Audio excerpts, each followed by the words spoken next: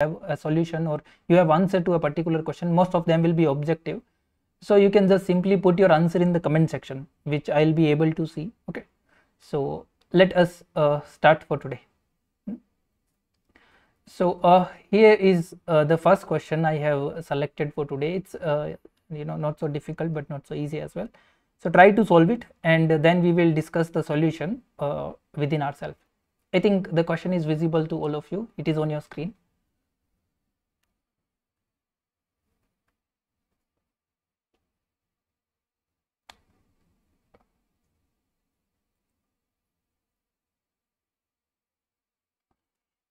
yeah. So uh, also carry pen and paper.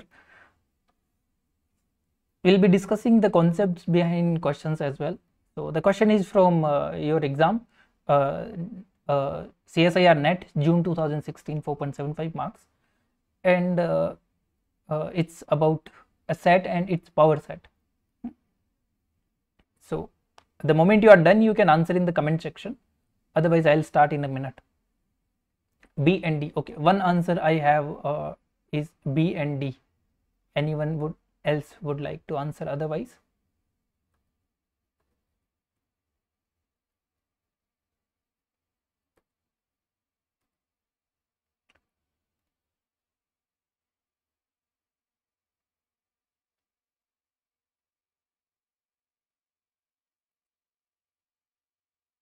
B and D, B, C and D. Okay, another differing answer is B, C and D.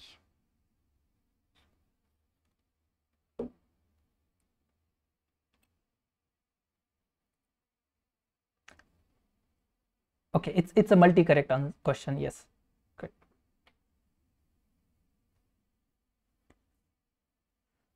All right. Uh, now let me discuss the solution. Then shall we? Uh, so we have a as a set fine. Pa be the power set of a that is usual symbol and it's given the definition of power set if you don't understand or you understand it other, otherwise. Uh, then what can you say about power set of a right? So uh, we do know uh, that uh, the cardinality of a the number of element in set a uh, if is it is some you know whether finite or infinite whatever it is if we want to find uh, the power set of a and its cardinality that will be simply 2 to the power cardinality of a. Okay. There is a rich uh, you know uh, proof behind it. Uh, we can we really you know can't go through that proof right now but there is a proof that every subset corresponds to a characteristic function. Okay. So how the proof works is that if you have you know uh, some b contained in a then you have a function f uh, from uh, you know a to 0 1 which is a characteristic function right so for every subset you can have a characteristic function and such that the number of uh, uh, number of such uh, you know subset is equal to the number of such functions. And you have 2 to the power cardinality of a such function from a to 0 1 so thus the cardinality is equal. Okay. But anyways uh, so the first one is saying that even if your a is empty then the power set of a will have always at least one element right which is empty itself. So the option a is totally incorrect it is it is like the most incorrect option here. Now let's uh, talk about other options. That pa is finite uh, for some a which is obviously true. If i take uh, you know you can just take a to be singleton and uh, that will do for you right? So pa is finite for some a that is also true. Now uh, option c and d c says that pa is countable set for some a and option d says that pa is uncountable for some a right if we take a to be uncountable then there is no problem at all. If i take the set a itself to be uncountable then power set of a obviously uncountable. Even though if you take a to be countable like you take set of natural number right? Uh, if you take a to be set of natural number then your power set of a uh, that has cardinality you know 2 to the power cardinality of n which uh, which is simply you have uh, 2 to the power aleph naught which is continuum right which is uncountable set you know? a set which has cardinality at least continuum is uncountable you know. Uh, the smallest uncountable set has cardinality continuum though. So uh, we have that pa is uncountable for some a that is obviously true. Now there is the problem with option this option you know. Uh, this option c there is a problem. Now what is the problem? That uh, if you have been through books, uh, there is a book uh, for real analysis by Walter Rudin, you know, the principle of uh, you know introduction to mathematical analysis or something. It's a very small book if you have been through. It's very small book and uh, very compact though and very good book.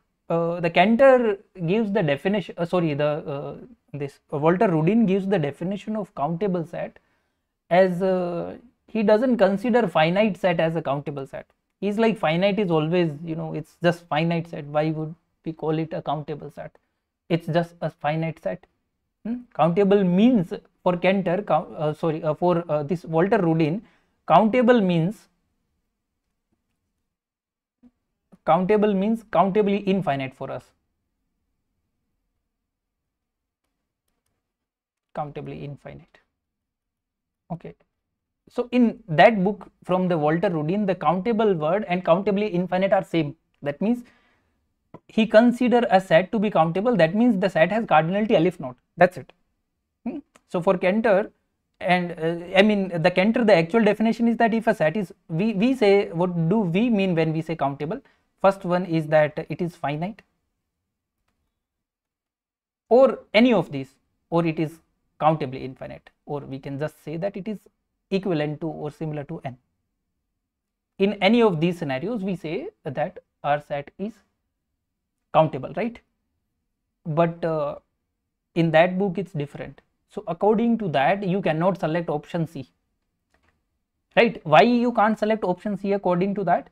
Because in in this scenario, if you're if you're countably infinite set, that means if you want to look for the cardinality of that, that means that if a set is countable, then cardinality of A will be simply aleph naught. And this will simply imply that the your power set of A will have cardinality, you know, continuum. So it can never be countably infinite. In general, what I'm trying to say is that you can make this as a result or as a note point in your uh, notebook that uh, for any A, it doesn't matter whatever A you choose, for any set A, power set of A is never countably infinite.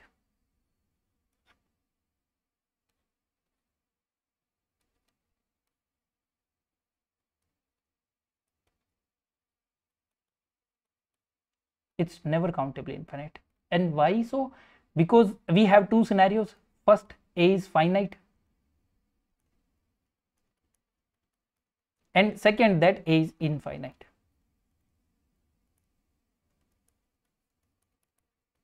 Right? These are the only case we can consider for any set. Either it is finite or it is infinite. In this case, PA is finite.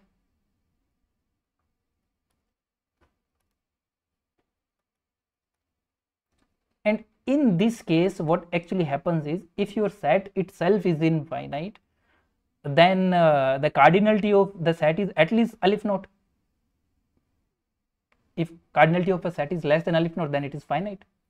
And this implies that the cardinality of PA the power set of A will be greater equal to 2 to the power aleph naught which is greater equal to continuum. And hence in this case PA is uncountable that means either PA is finite set or PA is uncountable set. So this statement for any set PA can never be countably infinite. And that is what used behind the explanation. In the first time when they gave the answer when the csir uh, you know made the answer key they gave the answer to be b and d only. Okay but then people gave the references of other books which consider that finite set is also a countable set isn't it so then c is also true that if you just write count in place of countable and you just take a to be finite then it is finite pa is also finite that works so in that case your correct answer would be b c and d so the actual correct answer is B, C and D. But again, you can argue with the book that you can give the reference of that book and you can say that I have been through this book and obviously the Walter Rudin is very reputed book. So you will get mark for B and D and B, C and D both. Okay. So yeah, I hope you understood this. If any of you have any question or query about this, you can ask. Anyone?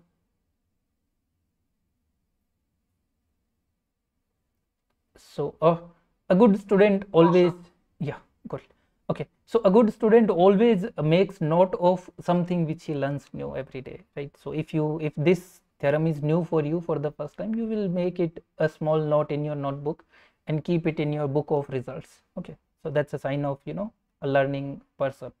So try to be one. Okay. Uh, now the next one i'll be uh, i'll be talking about a very recent question in netjrf exam. Uh, i think it's from last to last exam. So let's talk about that. Uh, this next question which i'm talking about is actually mixed up with uh, sequences. So again interesting one. So uh, that i think let me just paste it here okay this pen is not going away. Just give me a second. Fine stay here. Okay. Uh, so this is also from uh, you know very recent exam of NetJRF itself where you have given two sets x and y and then they talk about uh, their countability and all. Okay. So uh, I think question is clear to you all of you. Is it visible? I mean I hope no one is facing problem in that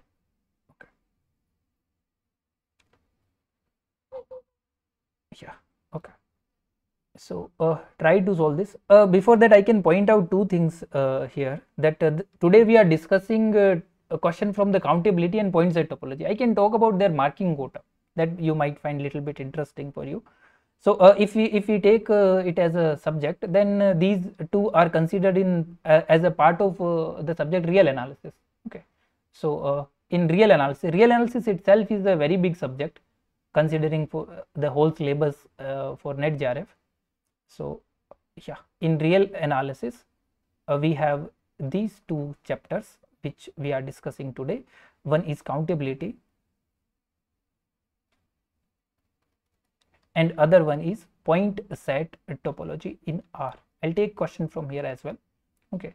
So if we uh, look in the exam from uh, this particular uh, you know these two segment then you find uh, one question in your every exam from here. I mean uh, mostly in gate 2 and in net it is surety almost like 99% chance is there that there will be one question from the uh, this particular topic countability. Okay. Sometimes they connect it to the different topics like the question i gave you above. This one is connected to sequences and limit of a sequence. They have even connected it to point set topology as well. In that case you can count that question in both of them. Like how many dense subset you can find in r that was previous to previous year? Question in netjrf. Like you can you can find countable you can find uncountable and something like that. So you know there is absolutely one question fixed from this particular topic. In very rare scenario you can expect two but one is for sure. Uh, the other one is point set topology. Uh, it's actually the topology in r only. We don't consider you know go to usual metric spaces and then define definition in metric spaces open ball and all no? We just fix it to r. And for us the metric is standard metric. Distance between x and y is mod x minus y. And we consider every scenario in this particular topology. That means open intervals open set close interval close sets you know limit points and all the results dense subsets in r and all of that. From here alone you can you can expect two questions okay but the interesting thing about this is that uh, many times they ask you question from the you know general topology. Like from general metric space they have asked you a question or from general topology they have asked you a question. But by just using this topology in r you can discard three option. In part b and select one and in part c sometimes you can discard one or two option which is actually helpful you know at least it is helpful that you can discard two. It is really helpful. So in that case you can solve you know two up to two questions from the topology as as well. So that is actually a good part from this this segment. Hmm? anyway so that is marking quota for this topic which we are discuss, discussing to, today. Around you can say that three questions you can expect in your exam at least. There may be more. Uh, now uh, if we talk about uh, uh this you know the concept behind this is so the uh, the you know this chapter countability you can consider it as a small chapter you know. That's how you study a big subject. You break it into small small parts and then you study one part work on one part and then you move to the next part.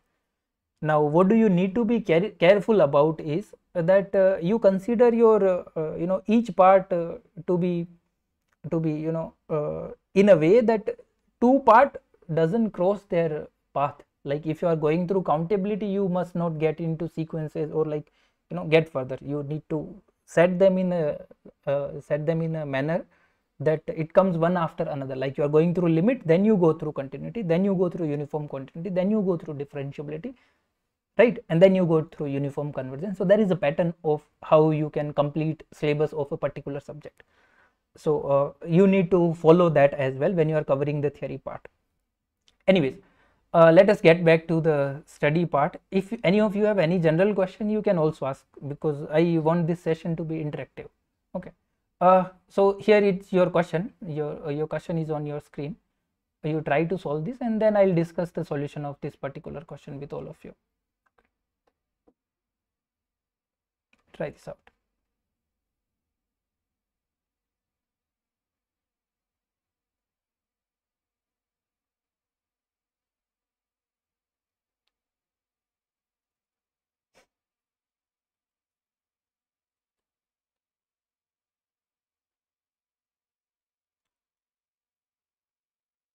uh, the question mixes two topic sequences and uh, uh,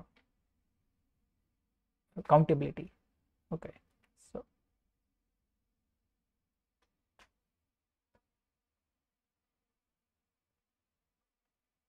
If i can make it a little bigger yeah better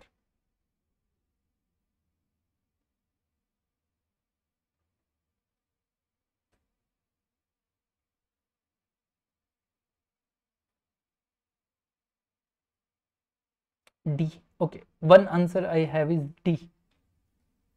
Anyone else wants to try otherwise?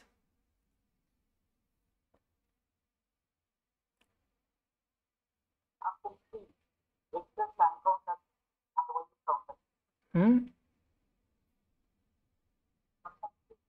Option C. Okay, another answer is C. You can you can answer in the comment section. Okay, that will also work. I can I can just read the comment. Okay, so uh, people agrees, some people agrees with C and some people agrees with D. Hmm.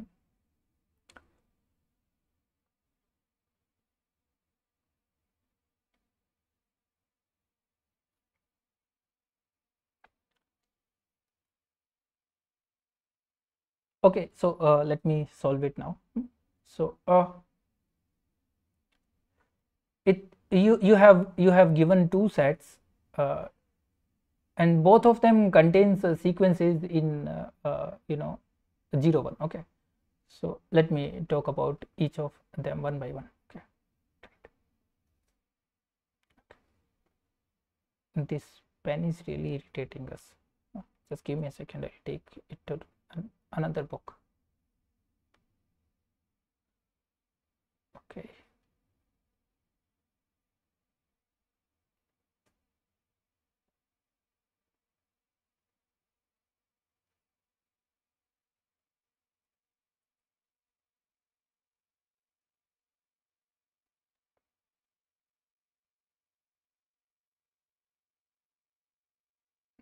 better now okay. Hmm. so uh, in set number one we have uh, all those sequences uh, whose uh, limit supremum is 1 and uh, all those sequences whose limit does not exist. Okay. So now uh, our sequence actually belongs to 0 1 so xn is in 0 1 hmm. now let us consider a set another set call it a. So i take a set a in which i consider all the function all the sequences you know all the sequences uh, xn such that xn is a sequence in 0 1 okay. now can anyone tell me that whether this a is countable or not? This set which i have defined whether it is countable or not is yes? It's uncountable. Yes yes. No the 0 1 actually defines just two elements 0 and 1 okay it's not not a interval. It's set with two element. Okay this set is uncountable. And why is that so? Because you can actually prove that a sequence is nothing not actually prove it's a definition of a sequence that a sequence is nothing but it is a function.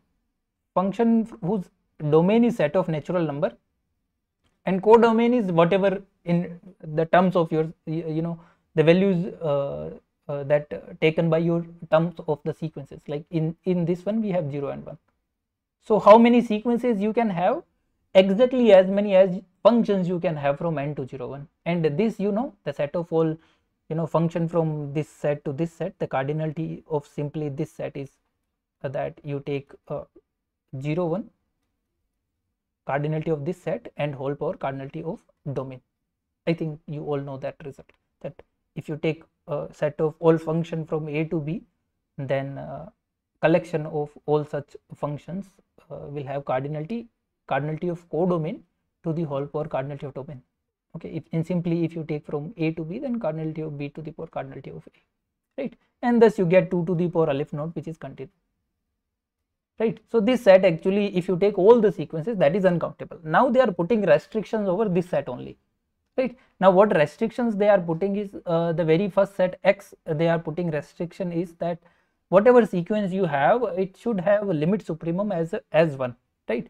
So that means you take all those sequences x n such that you have limit supremum of x n to be 1 okay? Uh, so your sequence can have uh, two limit point at most because the sequence is in 0 and 1 so either it can have only one as a limit point or it can have 0 and 1 both as a limit point. Done. That is fine. Now uh, you want to have all those sequences in which uh, limit supremum is 1 okay that means 1 should be a limit point. That's it. One should be a limit point. That means you you want to you only want to take all take all those sequences x n such that one is a limit point of xn that's it you are not putting a restriction over the sequence that after some term it should be 0 or after some term it should be 1 no that you are only taking all those sequences xn such that xn equal to 1 for infinite n. If a sequence attains one value infinitely times, then that becomes a limit point of the sequence, right? Okay, now we can look at as uh, uh, another point of view. If I take x complement, that means xn such that xn equal to 1 for finite n. And xn belongs to 0 and 1. Okay, if you look at this complement, it is just you know set of all sequences which are eventually 0 right? Because your sequence can take either 0 or 1 and you can take one only finitely many times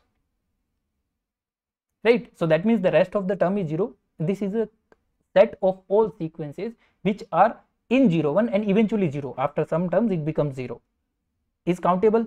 Obviously that i think you know. Right? So the complement is uh, you know countable and uh, you take x union x complement then you get this set a. This set a. All the sequences. Obviously this. Now we know that this is countable. We also know that this is uncountable now what can you say about this set x? Hmm? anyone? X must be uncountable because it is a complement of a countable set in an uncountable set. Thus x must be uncountable. Right? And we can easily select that your x is actually uncountable. Option a is gone because it says x and y are uh, uncountable. X is countable that is also gone. X is uncountable x is uncountable. So we are left with two options now. And uh, now let's look at uh, y. Okay y says that all those sequences whose limit does not exist at all like limit doesn't exist. Okay now look at it very carefully that if you take all those sequences whose limit supremum is 1 okay uh, and you are taking all those sequences whose limit does not exist at all hmm? so uh, you know so i mean can you say which is subset of which one? Like is there any relation between x and y? Hmm? can you can you find any relation between x and y? So what actually we are doing is that uh, either the sequence can have limit supremum 1 if a sequence has limit supremum 1 then there are two cases. One is that the sequence is convergent. In that case it will converge to 1 only because 1 is one of the limit point and the other scenario is that the sequence is not convergent. In that case limit doesn't exist. Limit okay limit point is there but limit doesn't exist. That means your y is actually proper subset of x. Proper okay. Now uh, you can actually take all those uh, sequences in this case. In y what you can take is you can you know y can be written like this you you have y to be all those sequences x n belongs to uh, you know uh, 0 1 such that x n equal to 0 for infinite n and x n equal to 1 for infinite n. That is the only possibility for the sequence to not have limit, right? Now, what can you say? You know, you can think of it as a layman language that you want to make a sequence in 0, 1, 0, 1, 1, 0, 0, 1, you know, you can have random sequence. But for each places up till, you know, it doesn't matter that at how many stop, steps you have reached, yet you don't know whether it will be 0 or 1, the term okay that's what actually not countable set is that you cannot tell what will be the pattern of the elements what is countability you say a set is countable. If if you can actually recognize you can put them into a process that this element after this this element after that this element right? So that you know that what is the successor and what is the predecessor of every element. If you can put a set into such process then you say the set is countable whether it is finite or infinite. But here you can't. You cannot actually recognize that at whatever process you put what will be the you know some random entry of a random sequence. You cannot put it into the process because one is infinite time and zero is also infinite time. So the terms are random. Sequence is not fixing itself right? Whereas if i fix this same sequence that x n equal to 0 for finite n now if i take any sequence from this if i take any if it is 0 for only finite n that means for any x n belongs to y there exists some k such that x n equal to 0 x n equal to 1 for all n greater equal to k because after some terms it will become constant 1 because 1 0 is for finite only not infinite. Okay so uh, that is how the you know the word countability is there. You just need to you know make it sensible. Again you can write it as a complement of the countable set and proceed with such method as well. Okay you you name you know you can write a as y union y complement and your y complement is actually you will have either x is uh, 0 for finite n uh, or y is 0 for finite n. In that case that set will be countable. Okay. So y complement is countable. You can easily prove that. So the correct answer will be that uh, your y must be uh, you know y is also uncountable. Both of them are uncountable. So y is also uncountable. This is also gone and correct answer is d. I hope you understood the concept behind the question? Anyone any question about this? No sir. Okay okay all right. Uh, let us move to the next question. I'll take a little bit easier type of question. So you, uh, this question is from netjrf only a little bit old.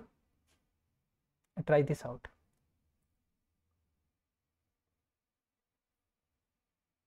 Okay.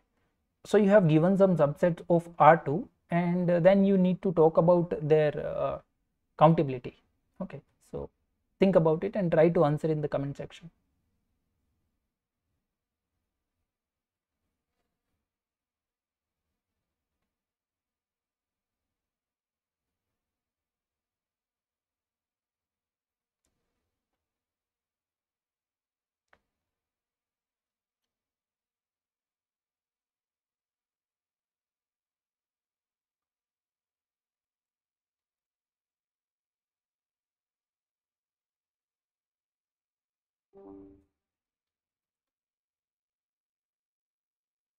Hmm.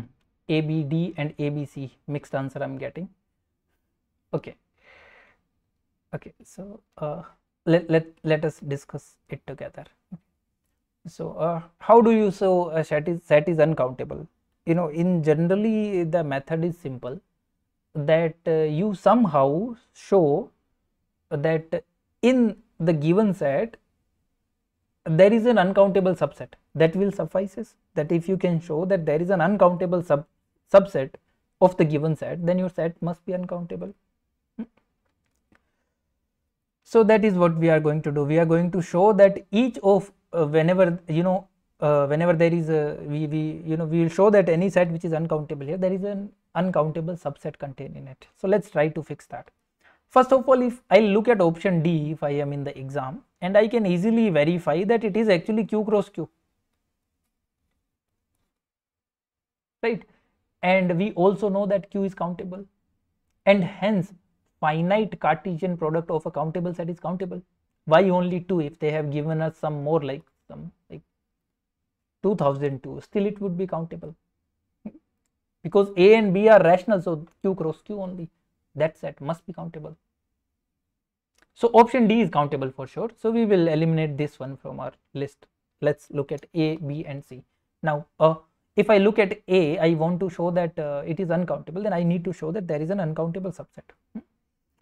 So let's call it A 1. Now I'll make an uncountable subset in this one. So I need uh, A and B such that A is less equal to B. No, what I can do is I can fix one of them.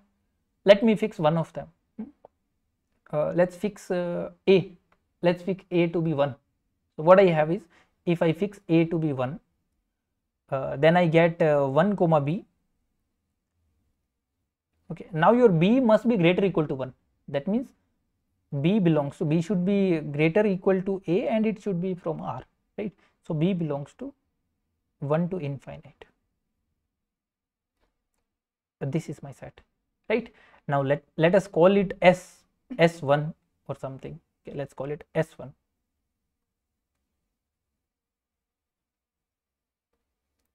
right? You can easily see that this s1 is actually subset of a1 obviously because this satisfy the condition.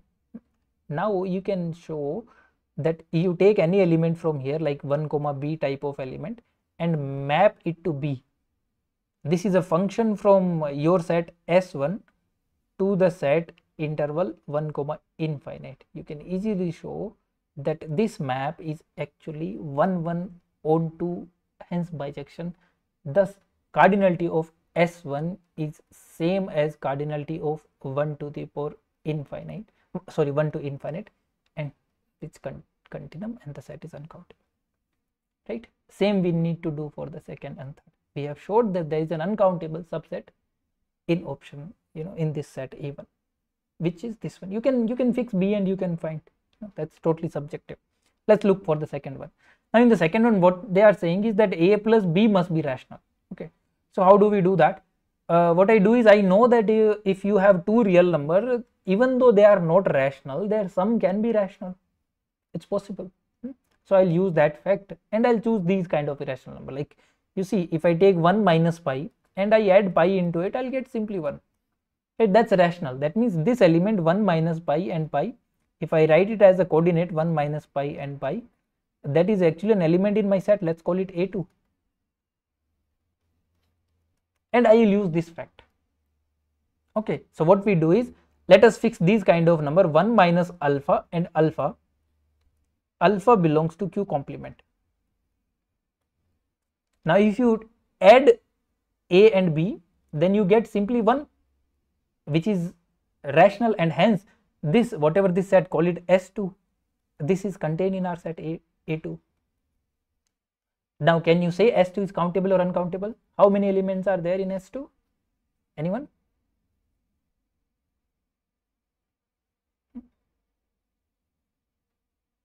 As many as irrational you have alpha is from irrational no so you can show that s2 is similar to q complement. Number of uncountable. and thus b is also uncountable right? Similarly in c you take 1 by a and a right? A is non-zero. Then their product will be simply 1 a belongs to r minus 0 so you can show that this set which is uncountable similar to r minus 0 is a subset of this set and hence c is also uncountable. Okay so correct answers are a b and c. Let me take the next question. You can ask if you if there is any query or question you are having. This question is kind of a little bit popular. I hope uh, you have faced this problem in your life once. Let us talk about uh, each and every option in this question. Try to solve this. This is from june 2019 3 marks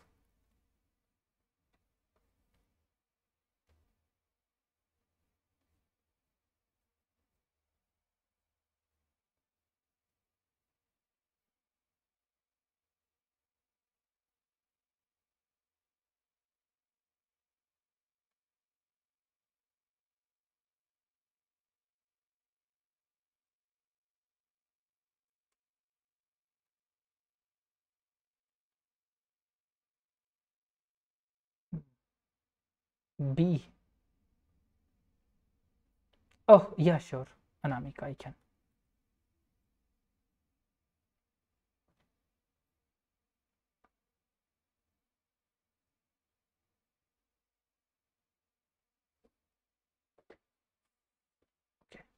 B. Everyone agrees with B. Okay. Now, uh, if you look at the question, it is very easy to find the answer in exam and solve in the exam because it's you know if you look at all four option and not solve all of them and solve the easiest one which you can solve then it is very easy. The concept is same as we discussed in the last uh, last uh, you know uh, question that we look for an uncountable subset right? And you can easily you know a blind person from the mathematical background can see it that if you take all those you know if you just fix n to be 1 just 1 you know so if I take n equal to 1, not, not 1, 2, we'll have to fix 2, 2, then you can just do this that cos x whole square plus sine x whole square. This thing is 1 for all x belongs to R. That means if I take n equal to 1, then I'm not sure, but if I take n equal to 2, then this set is actually set of all real number because for every x belongs to R, this equation satisfies. So the set is whole real number and hence uncountable and I'm done with my problem in the exam and I secured 3 marks. Now because we are in not in the exam, we have to solve A, C and D too. What will be, you know, how can we solve that? A, C and D. So uh, let us look for uh, uh, one by one for all these uh, you know, options. Uh, anyone would like to give any hint for option A? Like why option A is, uh, you know, not true. Hmm, why option A is countable? What is the reason? log x is one one function. Exactly, yes, good Satyam. So the very reason is that the log x is actually one one function. Hmm, so since log x is one one function, we can say that what what I want in the range, you know, I am taking all a function f what i'm actually doing is i'm taking a function f from uh, uh, you know r r positive to r let's say. Okay. And i want f of uh, and f of x is equal to log x. Right? And what i want is i just want the inverse image of q positive from here. Right? Because i want that all those x for which log x equal to you know log x belongs to q positive it means inverse image of q positive. Because p by q for all pq belongs to n is actually q positive. Hmm? set of all positive rational numbers. Hmm? and since the map is 1 1 so the inverse image of q positive under this function will also be similar to q positive.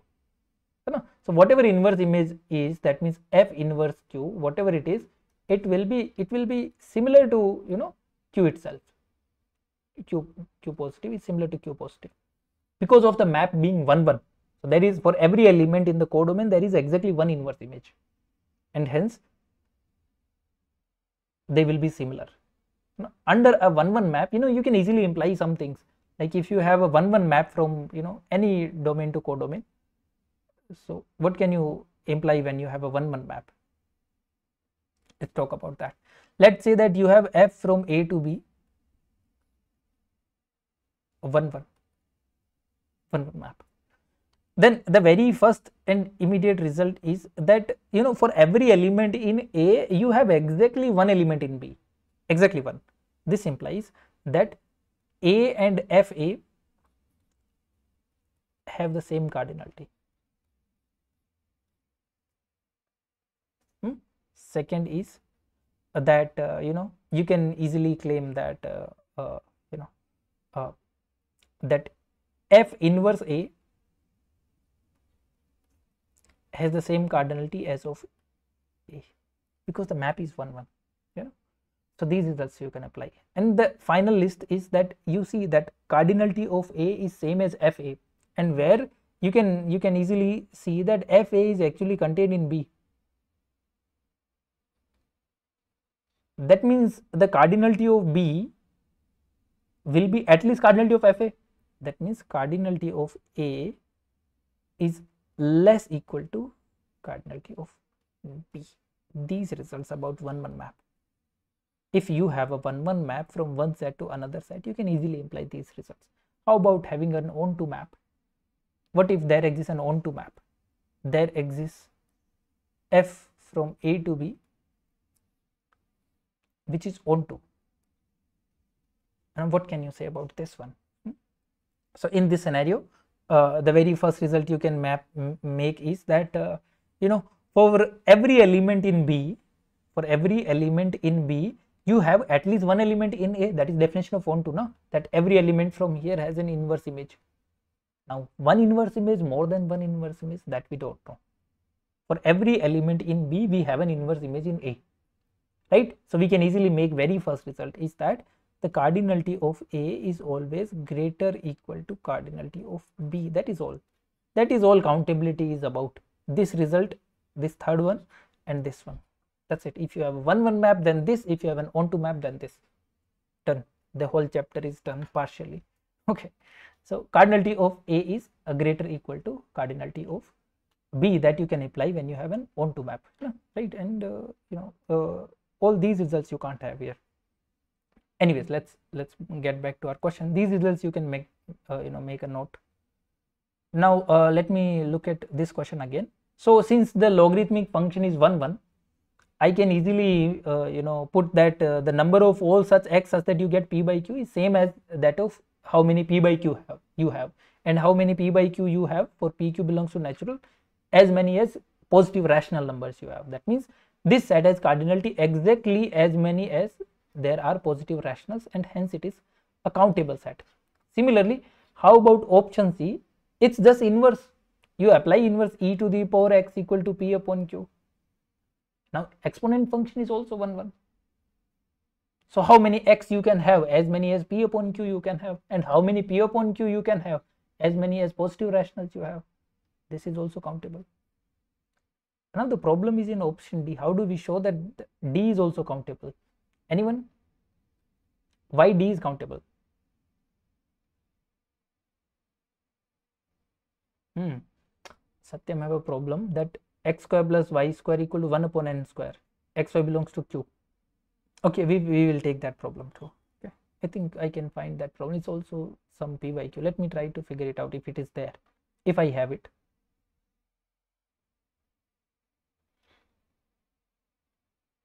In the meantime if any of you can answer my query that what about option 4 how do we show it is uncountable? I mean sorry countable. Anyone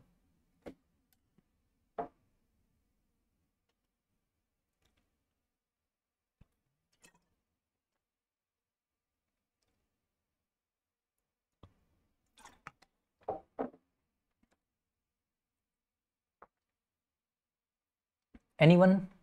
Why it is countable?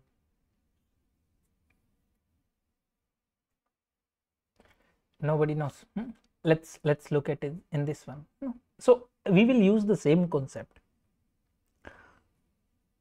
that the map is 1 1 but cos x is not 1 1 cos x is not 1 1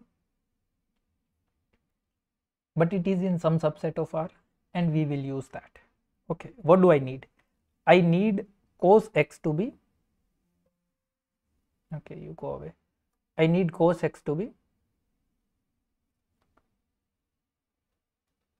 p upon q right? And i want all all those real number. What i do is i will fix them. I will fix x i don't want for all x from you know uh, r. I will fix x in a manner such that my cos x is 1 1 you all know the graph of cos x somewhat looks like this.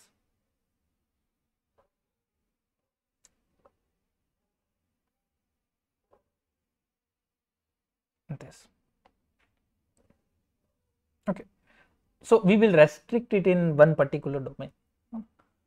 Uh, so let let us fix from here only. I'll take this block 0 to pi. Hmm, at 0 1 at pi minus 1 now it is repeating values. Right? Whatever value here it is same giving you same value. So it is repeating not 1 1 anymore. Right? So i can restrict the function into this whole domain. In this one your cos x is 1 1 function. Yes at the same time cos x is periodic as well. So as many as point you get here exactly number of point you will get in the second block as well and exactly number of point in the third block. So how many point you get here will be the exactly number where cos x equal to p by q you will get here and you will get into the next block right? And in this one your function is 1 1 right? So cos x equal to p by q will have at most countably many solution because the function is 1 1 for any x you are getting p by q there will be only you know p by q can be attained one once only because of the being function 1 1 okay so here you have countable. Here you have also countable. And here you have also countable. So you have broken all real line into small small parts and in each part you have countably many elements. So your set can be written as countable union of countable sets and hence the set is what countable okay. So what we did is we restricted the function in a manner such that in a particular domain it is 1 1 and then we are taking union of you know because of the periodicity of the cos x function. Done. And hence this is this is actually a countable set. So the actual correct answer is c only but we are you know uh, interested in knowing uh, what are the reason behind behind other options. Now i'm having a question in the doubt section. Let let us discuss about that that as well so the question is that uh, is taking a set s and collecting all those real number x and y. Uh, let me check the question again. If any of you have any query you can also yes exactly. Uh, you can also put it in the comment section. X y such that x square plus y square is 1 x square plus y square equal to 1 upon n square right? And you have that x and y both belongs to q. And n belongs to n. X y belongs to q and n belongs to n. Okay. Now can anyone tell me that uh, whether this set is countable or not? Anyone anyone want to answer? This you have a collection of all those ordered pair in r2 this is subset of r2 such that their square is equal to 1 by n square for some n whatever n you choose there is some I mean i think it is for all n is it's countable. How can we say that you know? In in mathematics we are always interested in knowing the reason. What is the reason? Why? You know as many time as you can ask yourselves the question why? When you are not in the exam it will be you know very helpful for you. When you go to the exam you don't need to ask right? But when you are doing problems at home need to think of every possible you know explanation every possible question you can get over a question you know edit the question. Think what if this what if that? Then what will happen? That will help you in the in the exam. Because the questions are always in the neighborhood of the question in you know which have been asked in the past. Anyways so how do i prove it? How do I prove that this set is countable or if it is not countable then how do I discard it? Okay so now uh, very first thing is I can see that uh, uh, in this one he has taken that x is and y both are rational right? X and y both are rational. I think there is something wrong with the question. Is the question is fine? Because in that way it is very easy to see that it is a hmm, anyone would also uh, is the question is fine or is there any issue with the question i think there is a issue with the question. If not then we will edit the question to make it interesting. Anyone?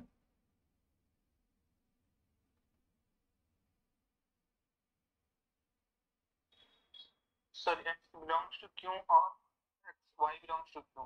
yeah either one of them belongs to q that is guarantee. We don't know about the other right that will make the question interesting. Yes.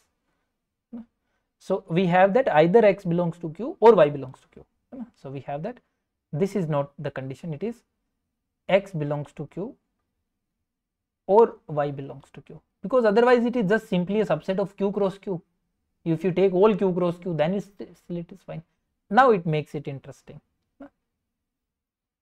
Now we need to see that whether it remains countable or not how do we do that?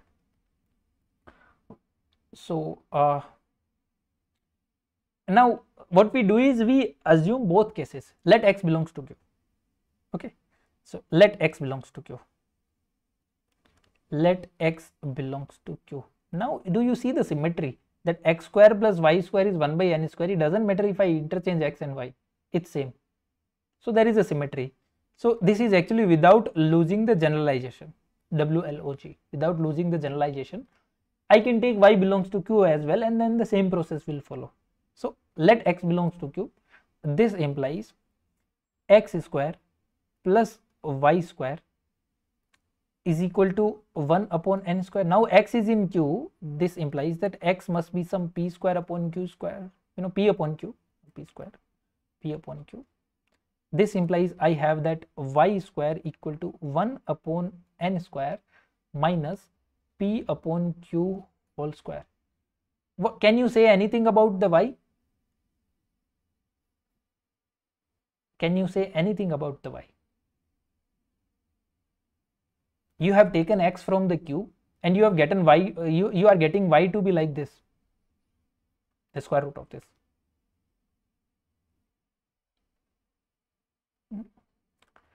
It's simply that at most 2 solution. Because it is a square equation at most 2 solution. At most 2 you can get right? So and same for the y. So if you fix any x belongs to q then you have at most two choice for y y1 and y2 and how many x you can have? As many as rationals you can have. And how many y you can have at most q cross q now can you say anything about the countability? Because fixing the x is also putting the restriction over y as well. If you fix x to be rational then y also y doesn't become rational but y square become rational. That means y is an algebraic number. That fixes that even the algebraic number is also countable.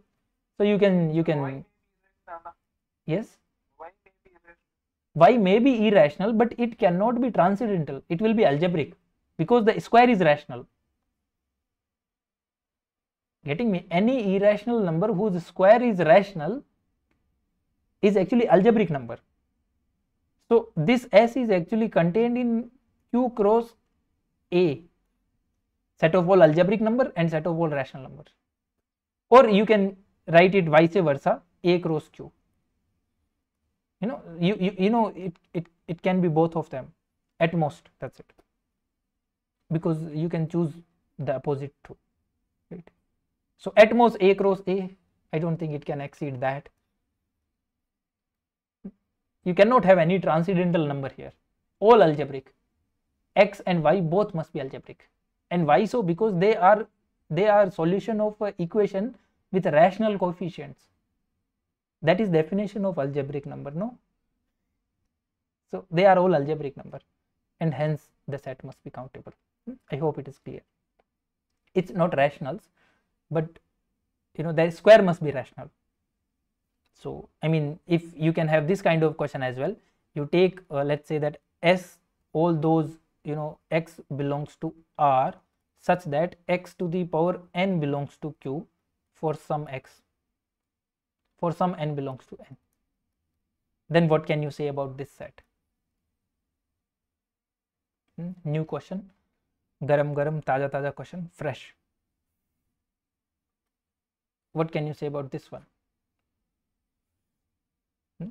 all those real number whose some power is rational. Anyone? Countable? These are algebraics na? You know if you take px equal to x to the power n minus p upon q. Right? Then if you take this kind of polynomial then your element become root of this. Your element this x become root of this equation. This is a equation with rational coefficient and hence an algebraic number. So this s is contained in set of all algebraic number and r can be broken into two part set of all algebraic number and set of all transcendental number. This is uncountable and this is countable. And here if you take any x and its any power it's never algebraic. It's never rational. It's never integer. Like pi exponent pi to the power e e to the power pi 4 pi छः पाई जो भी। ठीक है? They are never algebraic they will remain transcendental sum of two transcendental number need no transcendental sum of two algebraic number is always algebraic and hence you know set of all algebraic number ये वाला field बन जाता है field this is a field sub field of R this is not even closed with addition because 1 minus pi plus pi doesn't belongs to 2 so this one doesn't form a field. It's not even a group. This is a field. Okay. So that we can talk in algebra. Anyways so i- i mean you can partition r into two parts you know. One is this that r can be written as algebraic and transcendental. And the other one is that r can be written as rationals and irrational right? And what is the relation between these two partition also at the same time you can make sure that their intersection is trivial right? That is also there. A intersection t is empty and q intersection q complement is also empty. That is why i'm saying the word partition of a set. You can you can look at them using you know venn venn diagram that how they are related with each other Hmm. Uh, this is how they are related.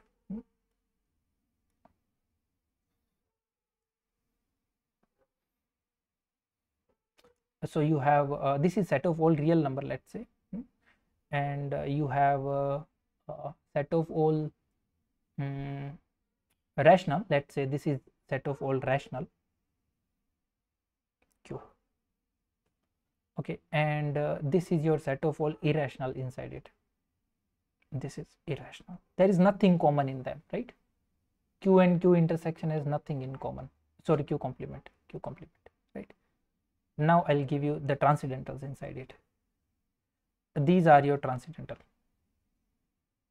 So uh, all the rational number are algebraic. Some irrational number are also algebraic. So these are transcendental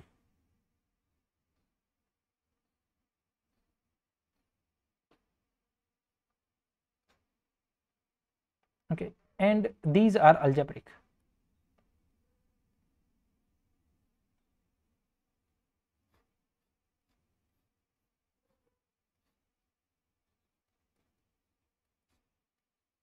So every rational is algebraic. Every irrational is transcendental no. Every transcendental is irrational yes. There is nothing common in algebraic and irrational no. There is common. There is this part is common no w- those element whose sum power is rational are actually algebraic number. Like square root 2 square is 2 rational it's an algebraic. This irrational number is algebraic. Okay so that's like. Anyways uh, that's some general knowledge. Uh, countability of q intersection uh, square root 2 square root 3 why why do you have problem in that you know? If you have a countable set it's every subset is countable. You you can ask your question. We are taking general queries now so the question is that you are you take any a is countable. If a is countable. And b is contained in a. Then define f from b to a. F of x equal to x. Identity map. It is 1 1 map may not be onto this implies f is 1 1 this implies cardinality of b is less equal to that of cardinality of a. We had the result just before a moment. This implies if a is countable b must be countable.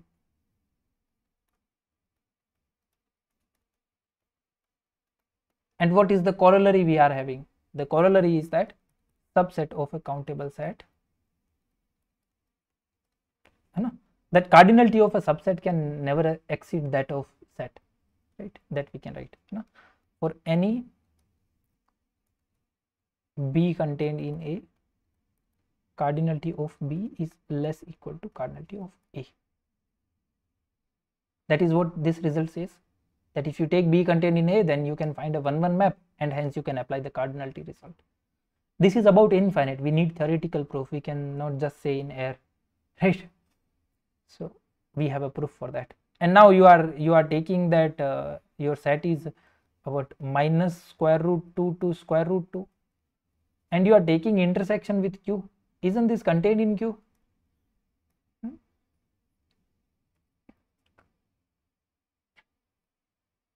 right. Y- you you can take anything. Like for any for any a contained in r a intersection q is countable. Obviously. No for any a contained in r a intersection q is countable. It is always. All right anyone else would like to ask something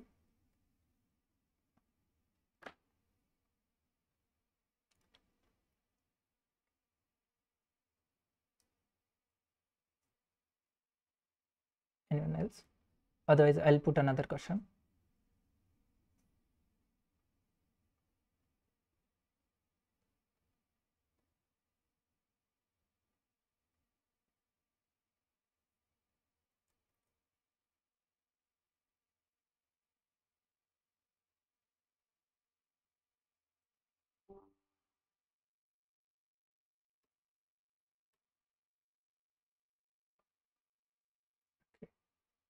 if they ask in r.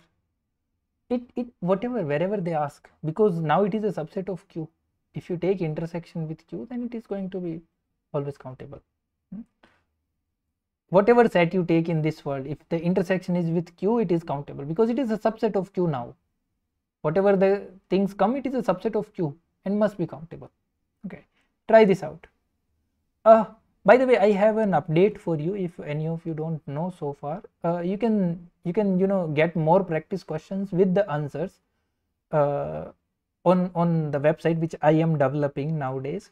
Uh, you can just simply google uh, on the google you can write the name uh, r squared mathematics. I think some of you may know and some of you may not know. You can you can simply uh, you know search r squared mathematics on google. You will find a website on the top in that uh, you can find many practice questions uh, with solution on for netjrf and uh, some books and i'm trying to develop it very good. So you can get some help from that. I am sure that it will be helpful for all the people who are preparing for netjrf so you can just simply go there and check it out. Uh so anyone would like to solve this one? Any answer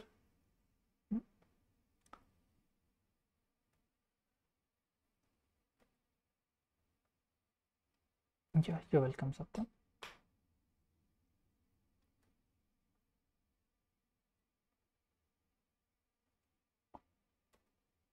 the question is from uh, point set topology topology in r. So let s be an infinite subset of r such that s intersection q is empty.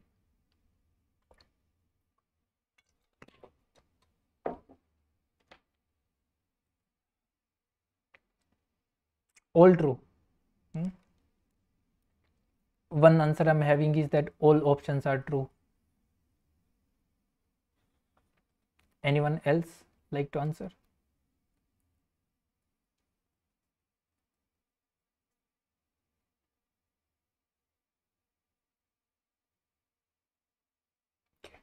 Okay good enough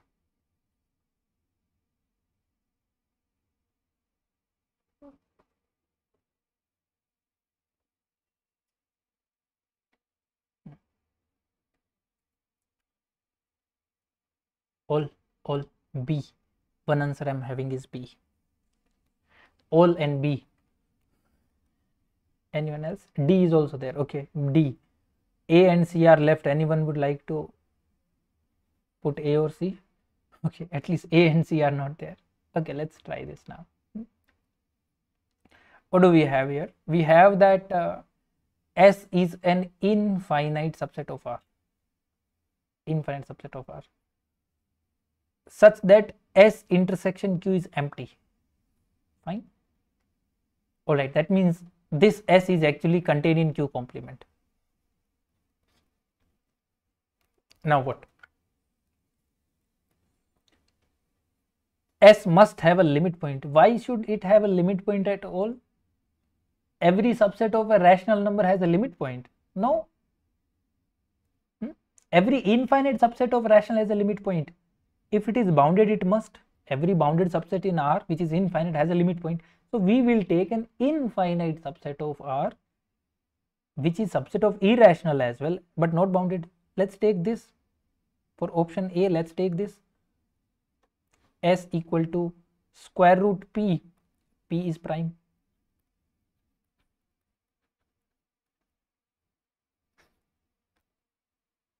This is contained in Q complement because every square root p you know p square root of p is never you know a rational it's always an irrational number.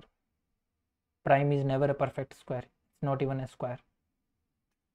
So these all are irrationals. This is an infinite set. Hmm? and intersection with q is empty. How many limit point are there? No limit point at all why no limit point?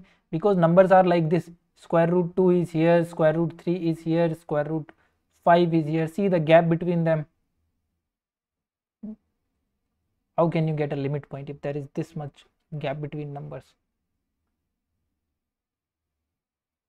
So s must have a limit point. No we will not going to read further. S must have a limit point. No. Okay s cannot be closed in r R set is closed because it has no limit point and S derived which is empty contained in S that is definition of closed set. A subset of R is closed if and only if it contains all its limit point and now there is no limit point. So the set must be closed. R set is closed. A, B, C all gone. Only D left. How about D now? r minus s must have a limit point which belongs to s. That we have to see. Okay. So let's talk about this now. So we have that what do we have? We have that s intersection with q is actually empty. Right? This implies q is contained in r minus s.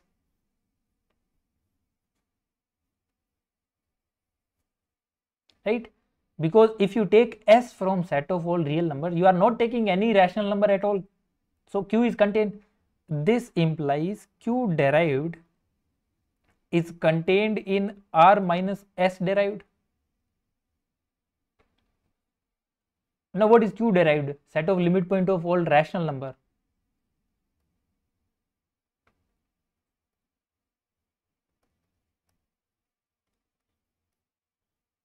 what I can imply from here that every real number is a limit point of r minus s. If a set contains no rational number, then its complement is dense in R because that complement will contain rationals. So R minus S is dense in R. Must have a limit point which belongs to S, yes, which belongs to Q, yes, which belongs to Q complement, yes, because it's all R. So correct answer is option D. Anyone any issue with that? all gone. A, B, C, D, all gone. Only D left. Why so? Because it is dense. You are taking a subset of you know all those uh, numbers which are which none of them is rational, and if you take it out from the real, then your rational is there, and that alone is dense in R. Hmm? Okay. All right. I hope it is clear for everyone. Anyone has any issue with that?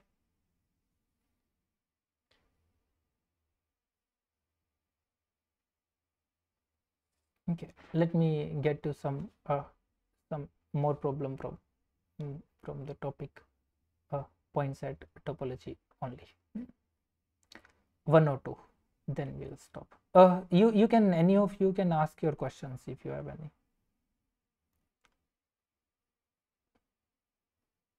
Any of you i'm i'm open to your problems. Like even if you have a general query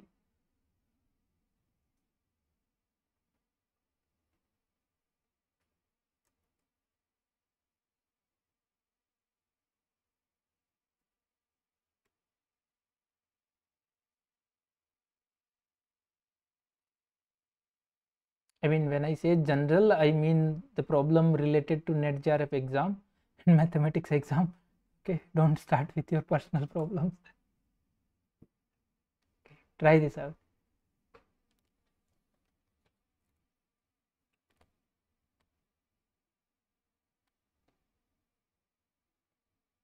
Last question for today. It's easy, I think every one of you can try this.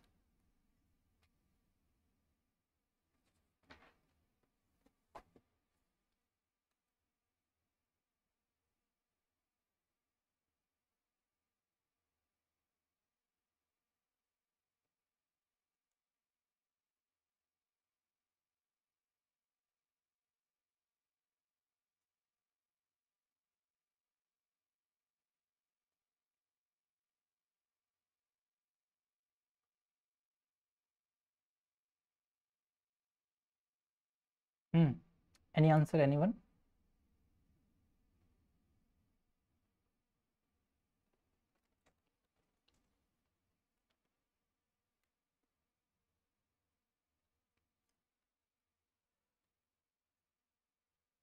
C.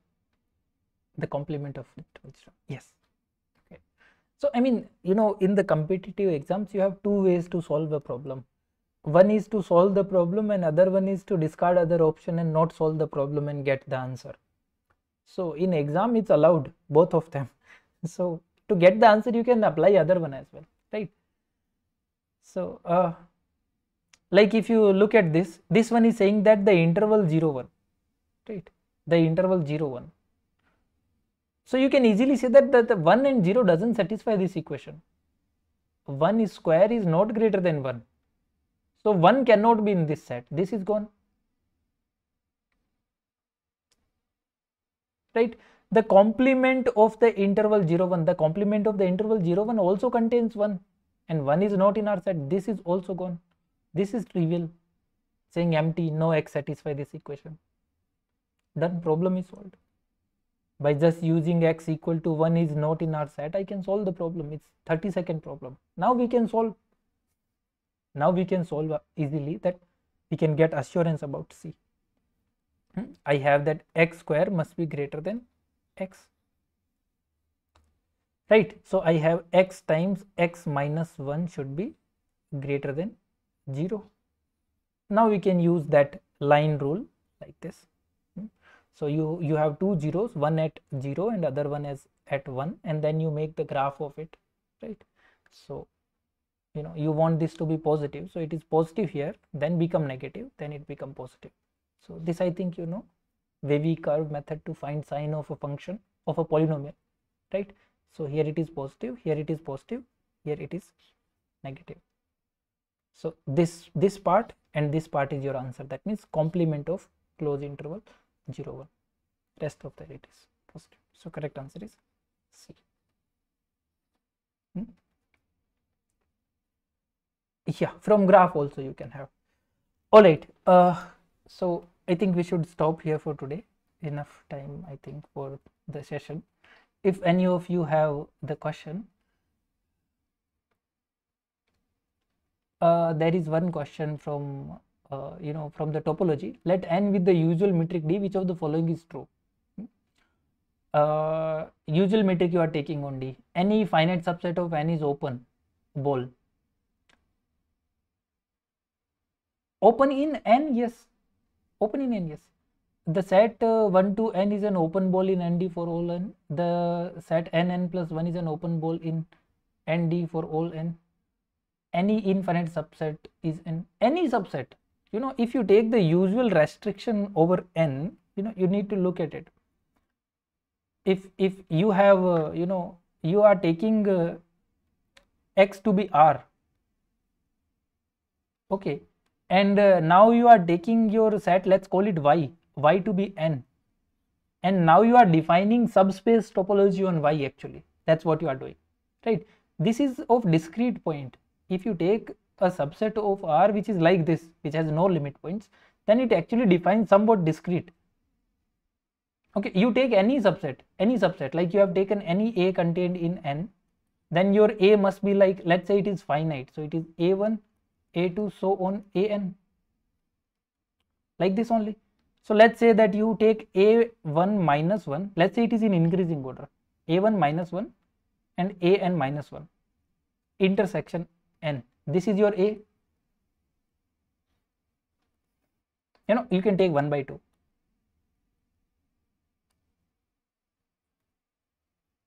this is your set a or not because you are taking all the you know all the numbers you know, assuming that a1 is less than a2 is so on less than an any finite set can be written like this. Now if you take any a and a can be written as some u intersection y then a is open in y if and only if u is open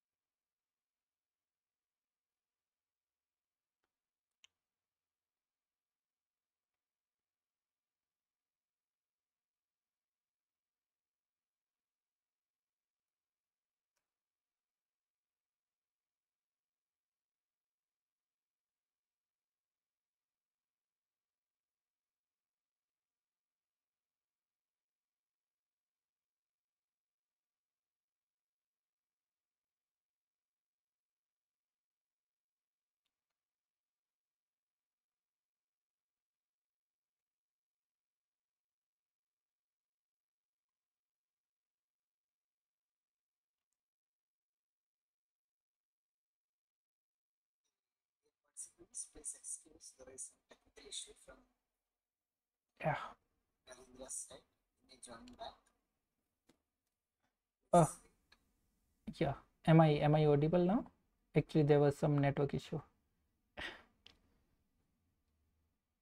Am i audible now? Anyone?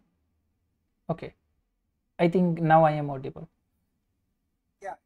yeah actually there was some uh, network issue so yeah, yeah. All right so i think i'm done with the explanation. I hope the person who asked got it. Who asked this? Is it clear? Yes. All right. You know every subset will be open because you can write it as u intersection n where u is open in r. So proving that every subset of n is open in n with usual. Now since every is open, so its complement will be closed. That explains your problem completely. Yeah. Discrete one. Yes, sir. On, on a finite subset of R, or if you take all, you know, without limit point any set, then you will get discrete topology only. Yeah. All right, then uh, I'll stop here for today. Hmm? Thank you, Rajendra. Yeah, sure. Once again, yeah, I'm very, really happy with your session and uh, like to thank you Yeah. uh, from my heart that uh, your session was really great with a good collection of problems and it's very interactive one. Yeah. So it's really a nice experience for our members. So, dear participants, now it is your time. Please share your feedback, or if, or if you have any query regarding your preparations, you can ask to Rajendra. He's really an expert in clearing this type of exams, so you can Yeah. use of an expertise. Yes. Yeah. Thank you all of you for your positive feedbacks. Yes, Suraj is asking about uh, the classes in Google Meet. Uh, whenever we arrange some classes, we will share that information to our WhatsApp group as well as Telegram. Yeah. Uh, about the future classes, I mean, uh, if there will be any class from my side, then sir will update you in advance. Uh, you can find some problem solutions online which you might find on some YouTube or somewhere solved by me. So that can be helpful for you. Yes, dear participants, please share your feedback. Yeah. Yeah. Good evening, Sikha. Yeah, you are. Sir, my name is Shikha and I've completed my integrated MSc in Mathematics and Computing from Birla Institute of Technology Okay. and I'm from Jharkhand. Sir, your session was, uh, today your session was really amazing and uh, I've seen your various sessions in different platforms also. Okay. And uh, yes, it is always helpful for us and uh, it's easy to understand as well. Yeah. Uh, sir, Yeah, I can hear you. I think we lost the connection. Yeah. for preparing for the for the months months left. Uh, I think now you really do not have so much time. You know, there are, I think, uh, two and a half month mostly. Uh, exactly, I think, not mostly, it's exactly two and a half months. So, uh, uh, for your part, I think you should uh, be more on practice now, solve more and more problems. You can make a rule by choosing a subject, like you will do this subject for this many days, these many days. And also, you need to plan like make a plan list all the subjects which you are going to cover for the upcoming exam and uh, divide uh, the weekly schedule to subjects. Like okay this week you will do this subject this week you will do this subject. And uh, and uh, uh, fix like every day you will solve 40 50 70 100 problems as many as you can from the particular topics. Like you have decided today you will do real or you will do for these upcoming 7 days you will do real that is totally subjective how you are comfortable with but i think right now you will need to start preparing at war, war mode like you are working like 24 7 other than sleeping you are just preparing for your exam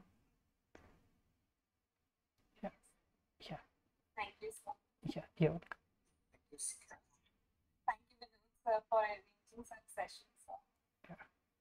And uh, Rajendra, sir, we are uh, hoping for more such sessions from your side. yeah okay i'll i'll try to manage more it, it was a really a good session yeah yeah you're welcome Yes.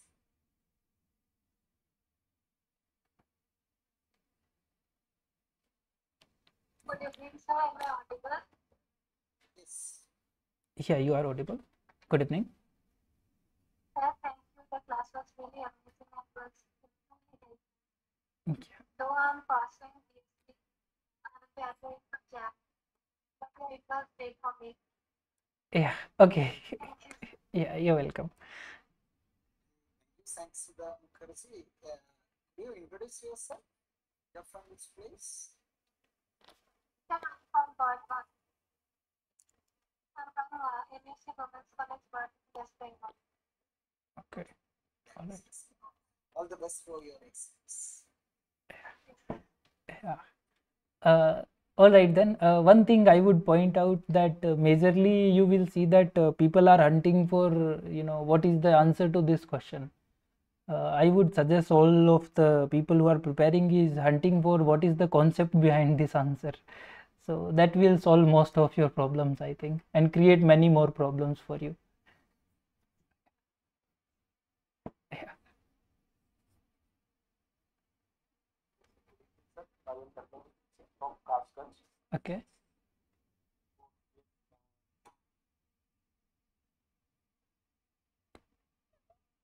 I think we can't hear you, Dharmendra. Are you on mute or something?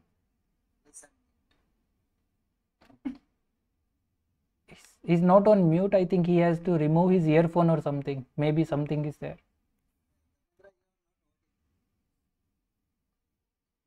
Yeah, Now, it is okay. Yes. I am Singh from Kasganj and I am preparing for in uh, IIT JAM and uh, other exam also. Uh, this topic is uh, uh, tough for me. Uh, I want to ask uh, uh, from which uh, book uh, I should prepare for this topic and uh, uh, what is difference between uh, point set topology and uh, topology on R? Sometimes it uh, comes with a metric space. Uh, Ah. why choose R? Yeah, yeah. Uh, I mean, yeah, okay. I think you are cle cle uh, I mean, complete with your question, right? I hope so. Yeah. Okay. So, I mean, uh, if you look for the book, uh, then uh, uh, I think uh, there are Indian authors and then there are foreign authors as well. So, if you are at uh, very level one, then uh, you can prefer to uh, SK MAPA. MAPA is fine. It is completely fine book for real analysis.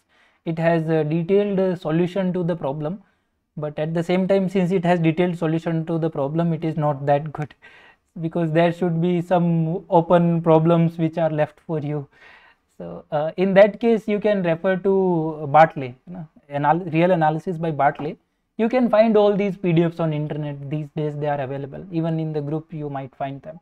So uh, you can go for uh, bartley or Mapa but if you want to go to the little bit next level i would suggest you Apostol. And uh, if you want to look for more then go for walter Rudin. so these are like level first level second level third level fourth level.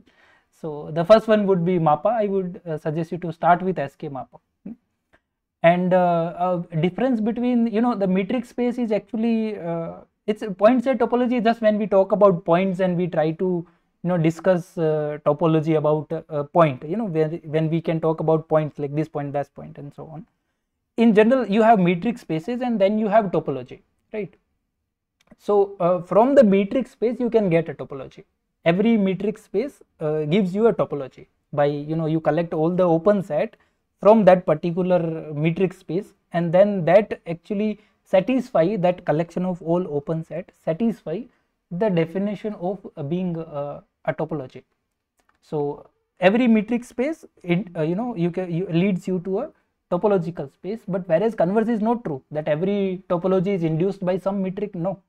Those metrics those topologies which are induced by some metric are referred as metrizable uh, topologies and rest are non-metrizable. So that is the next level uh, you know you can go to. If you are looking for some basic book on topology uh, of metric spaces you can refer to kumaresan book by s. Kumaresan. It is really good very compact book and number of good examples are there. Very good examples you know. Uh, the only reason i like that book is that it has very compact and good amount of example. If you want to go for detailed then uh, you can go for uh, Munkres munker is like uh, you know exactly the granth for uh, uh, topology. You can refer for Munkres so yeah to start with go for uh, this kumaresan. That will do for net gate jrf all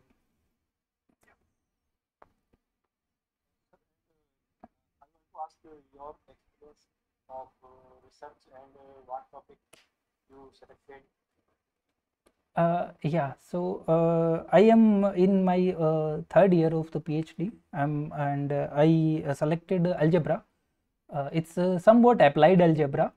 You know, we try to figure out some problem in the you know communication systems. We make some you know codes using finite fields, or you can say that finite dimensional vector space over finite fields we use that and try to you know each vector is some code word and uh, we can uh, you know we can use them in the communication system as well. So that was amazing for me to find out in the beginning that that abstract algebra has such practical examples abstract and linear together. So uh, we are using that to develop some you know code in which we can you know send a message from one place to another place. And uh, then uh, uh, that message is actually coded using the you know vectors in a finite vector space. So uh, that is what my research area is. We are trying to develop some codes. And uh, uh, so it is actually algebra. Uh, you can take this subject after the algebra. So i'm doing in that. I think that answer your question.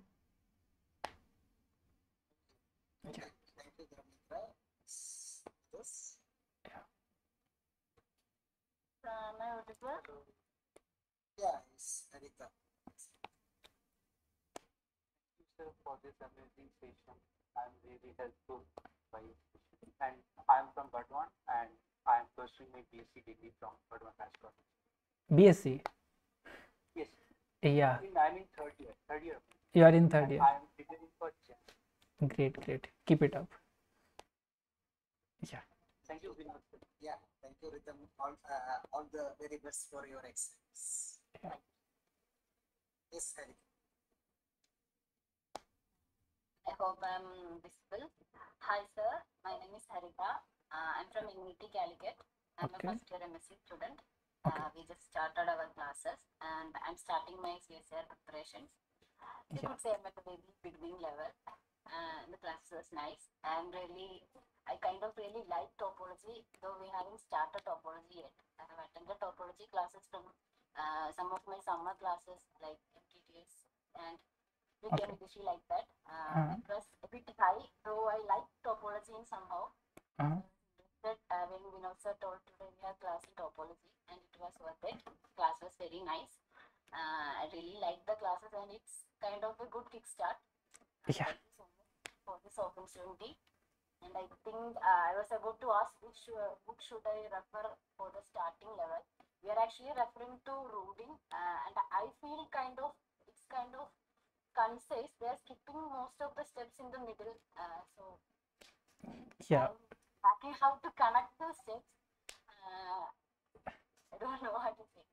So Yeah. I think I should start with Mapa now. And Yeah. Thank you so much for the opportunity. Uh, thank you so much, Vinod sir, as usual. He's always our savior. Yeah. Thank you, sir. All the best for your career also. yeah thank you uh, so yeah you can you can actually uh, you know if you are at uh, you know starting with Rudin then the purpose of starting with Rudin is suffer okay? So you need to suffer that uh, period. It's uh, you know that is the part of learning. You need to you know bang your head in front of wall and try to understand one line of that again and again. So that is part but again if you are fi- fi- finding it very you know difficult and not able to understand something then you can go back and refer to some basic books and come back here okay so i think uh, doing uh, Rudin will be really good for you if if you are able to manage that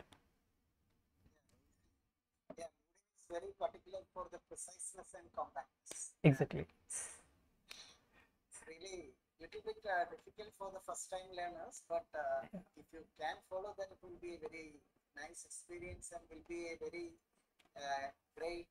Uh, it will be having a good advantage in your future studies. Yeah. Yeah exactly. Uh, but if you are uh, if you are focusing on particular exam like net jrf then don't don't stuck behind a book. Okay. Yeah, yeah. Exactly. It's uh, is actually for studying the subject and studying the concepts. yes. But for uh, practical, this type of uh, competitive examinations, of course, you need to go through other well. Yeah. So like once you qualify the exam you have qualified the JRF exam then uh, you can go for this book for your interview preparation and your knowledge level testing. You know because uh, then you will be get you know you will be paid for studying those book for every month.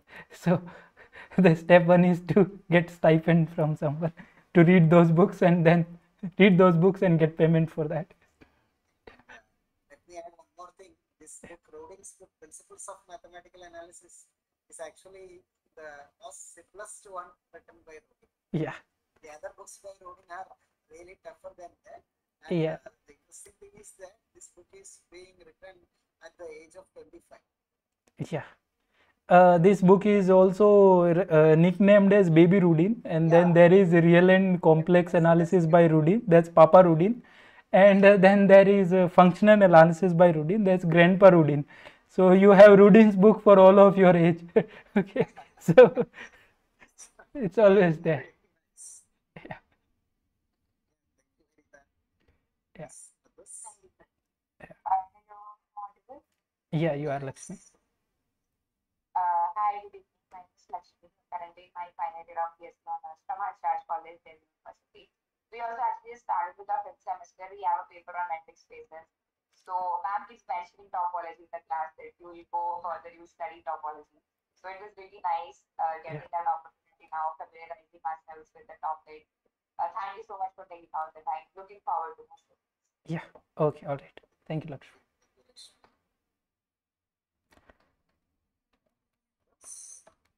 Yeah, I think. All right then.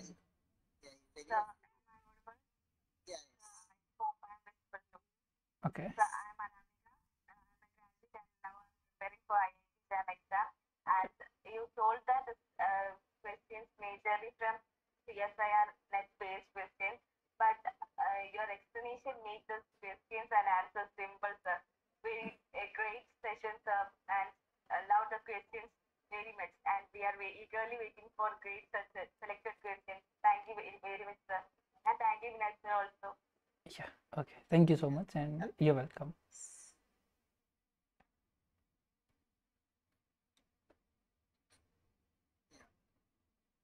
All right. Am I audible? Yeah, yes, sir. Hello, sir. Uh, I'm in uh, IIT Mum- uh, Mumbai, pursuing my MSc first year. Okay. Uh, and I ha- thankfully have been uh, ac- across this math aspirant group and uh, attended to, to today's session. So actually, I like the viewpoint. Uh, whenever we saw the questions, we the uh, way we used to think actually changed little bit, but it changed. Yeah. So I will be appearing in JAM exam uh, the next year. mhm. So I think it's going to be a really helpful session. So thank you. Yeah. Okay. You're welcome. Aditi. Thank you, Aditi. Best for your exams. Thank you. Yeah. Okay. Yeah.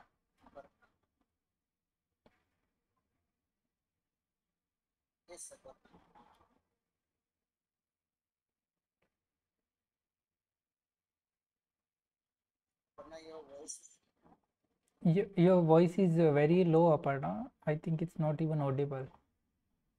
Can you do something? Can you mute yourself and unmute or something?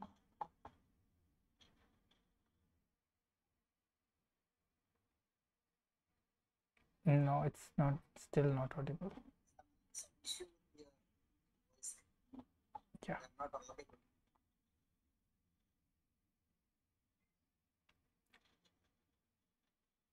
If you have earphone or something, Aparna, then try removing it. Yeah, I think same. Okay, uh, okay, uh, dear participants, we are almost out of the time. If any of you would like to share any feedback, you can do that. Otherwise, So I want to add something. Uh, So please don't forget to share the share your notes. Uh, today's class uh, printout I can share. Uh, otherwise, uh, you can find uh, some more, uh, you know, uh, solved problems and some more content uh, which uh, actually I'm publishing on a website. which is called R squared mathematics. So I'm publish I'm trying to solve you know some problems from the mathematical background from here and there and publishing their solutions regularly and they all are of course of no cost. Okay, we can share the uh, address of your website uh, with the recording of this. program. Yeah, sure. Yeah, Lakshmi. Uh, thank you, sir. Thank you, sir, for this wonderful class. I'm Lakshmi. I'm from PMC College, Tirur, Kerala. Okay. Uh, today's class was really nice and interesting. You explained each and every question clearly. And thank you, sir, for spending your valuable time with us. And thank you, Vinod, sir, for conducting this class. Thank you. Yeah, you're welcome.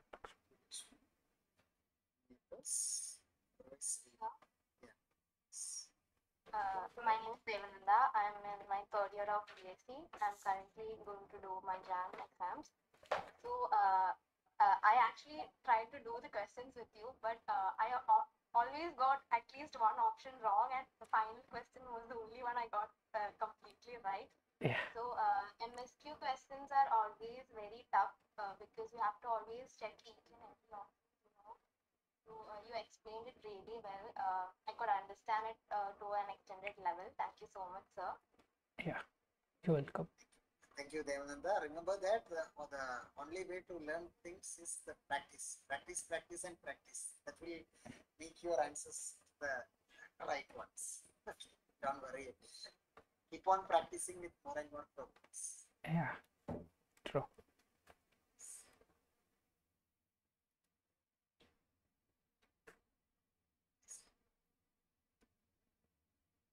Yeah.